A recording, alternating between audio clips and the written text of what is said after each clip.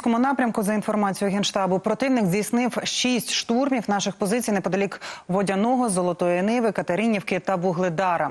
І про оперативну ситуацію там розпитаю Ореста Дрималовського, представника прес-служби 79-ї окремої десантно-штурмової таврійської бригади. Я вітаю вас, пане Оресте. Слава Україні. Героям слава вітаю, Ірина. Але перед е, тим як почнемо розмову, е, оголошуємо збір на розвіддрони для 79-ї окремо десантно-штурмової бригади. Оресте, поясніть нам, от які цілі будуть досягнуті завдяки тому, на що ви збираєте власне на розвіддрони, які побічні ефекти називаємо це е, так для ворога негативні і позитивні для наших десантників. Ну, власне, розвідувальні дрони це те, що без чого неможливо уявити сучасне поле бою. Це те, що допомагає е, нашим десантникам вчасно виявляти е, колони ворожої бронетехніки, будь-які переміщення, будь-які заміни, будь-які підвезення е, боєкомплекту ворогом. Е, це те, що допомагає коригувати вогонь нашої артилерії. Це те, що допомагає коригувати роботу наших ударних дронів. Це наші очі. Ем, на полі бою, і вони вкрай потрібні. Це те, що е, не просто допомагає знищувати ворога, це те, що е, дійсно рятує життя наших воїнів. Тому я буду дуже вдячний е, усій вашій великій аудиторії, усім небайдужим українцям, які приєднаються до цього збору і допоможуть саме 79-й окремій десантно-штурмовій таврійській бригаді, яка вже два роки без ротації на одному з найважчих напрямків фронту дуже стійко стоїть і е, ці люди точно потребують цієї підтримки. Буду вдячний за неї. Я також закликаю наших глядачів е, відмовтеся сьогодні від е, філіжанки кави, наприклад, і задонатьте, тому що і 10 гривень, і 5 гривень це теж гроші. Коли нас багато, ми допомагаємо рятувати життя наших е, оборонців і, зокрема, десантників. Ореста в інституті вивчення війни відзначили, що тиждень тому російські війська активізувалися саме на напрямку Вугледар, сконцентровують свої сили між Вугледаром Костянтинівкою, намагаються обходити місто з флангів. Розкажіть якою є інтенсивність наступальних операцій окупанта нині? Чи застосовують вони техніку? Тому що я пам'ятаю, ми з вами обговорювали, е, як десантники змусили е, росіян відмовитися від механізованих атак і пересісти на мотоцикли. От яка нині ситуація? Ситуація залишається дуже напруженою ем, напередодні. Буквально позавчора росіяни знову задіяли величезну кількість техніки. Упродовж дня виїхало 25 одиниць бронетехніки, три танки. 21 бронемашина, інженерна машина розмінування, і власне завдяки розвідувальним дронам, власне на що ми збираємо кошти, вдалося дуже вчасно виявити ворожі порядки, ворожі колони, які тільки висунулись для штурму ще на великій відстані. Відразу дуже прицільно почала працювати наша артилерія. Вчасно вилетіли ударні дрони і почали наносити дуже прицільні удари по ворожій техніці. Шість одиниць було вражено на полі бою.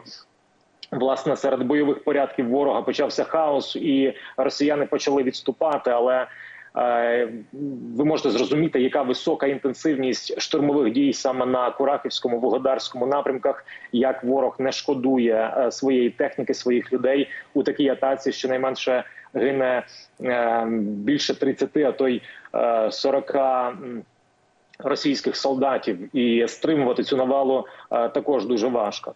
Е, ворог, якщо не задіює механізовані штурми, то іде піхотою, лізе піхота, намагається наблизитись до наших позицій, зав'язати контактні бої. Ситуація залишається вкрай напруженою, і останніми тижнями е, ви маєте рацію. Вона ускладнилась. Ворог нарощує темпи свого наступу.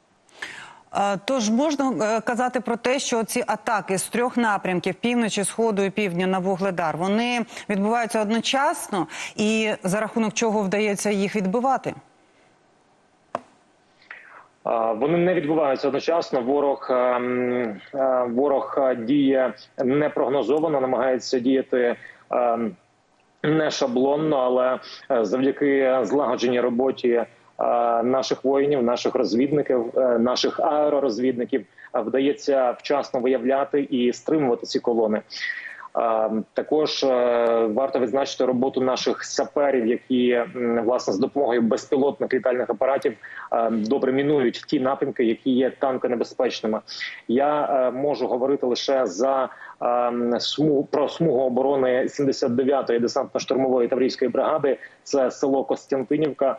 Ем, Власне, ворог е, іде в абанк, фактично, щоб захопити це село, щоб вийти на якийсь оперативний простір, аби атакувати відразу два великі міста Донбасу, йти на Вугледар, а також іти на місто Курахове. І місто Курахове останніми тижнями піддається дуже жорстоким артилерійським обстрілам. Ворог завдає авіаудари, і від цього страждають найперше мирні мешканці.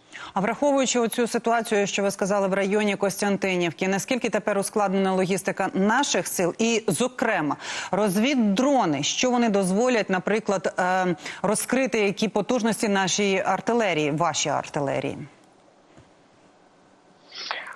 Логістика ускладнена як у нас, так і у ворога, і це все причиною цього є е, ударні дрони, які е, як е, наші десантники, так і окупанти застосовують у великих кількостях. Власне, за один день росіяни запускають до сотні FPV-дронів. Е, Це ударні дрони відносно дешеві, які полюють за е, нашими десантниками, за переміщеннями, за нашими автівками. Тобто, оця п'ятикілометрова зона до лінії бойового зіткнення вона залишається вкрай небезпечною, і е, засоби радіоелектронної боротьби не є панацеєю, що е, саме в автівку не влучить е, FPV-дрон, бо росіяни е, не дурні, вони літають на е, частотах, які не завжди може подавити наш е, реп.